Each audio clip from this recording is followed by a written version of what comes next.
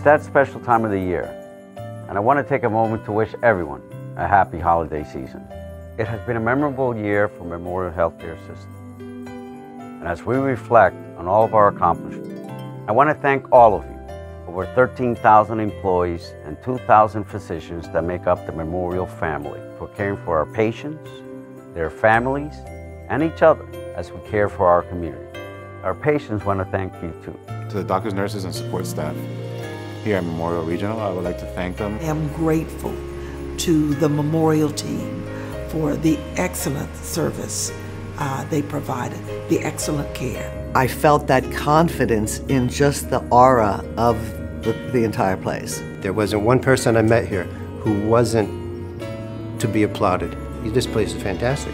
After surgery, it was it was a great experience. Before surgery, it was a great experience. Uh, even going back for my checkup sometime, it, it's a great experience. There's some wonderful people here, yeah, and they're very caring. Uh, and I appreciate very much what everybody did for me. It amazed me that the care that they gave my husband here and how diligent they were every day.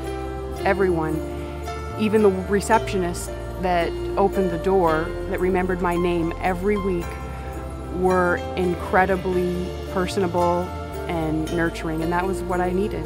So I owe Joe DiMaggio my life. The doctors, everybody treats my daughter like they're one of her own, and they didn't stop fighting. You know, they gave her, a, they always tried to find for something else to make her survive. We have accomplished a lot, and we've moved at a very rapid pace. However, at this time of the year, I encourage all of you to spend time with your families, friends, and enjoy this wonderful season. Thank you for all you do.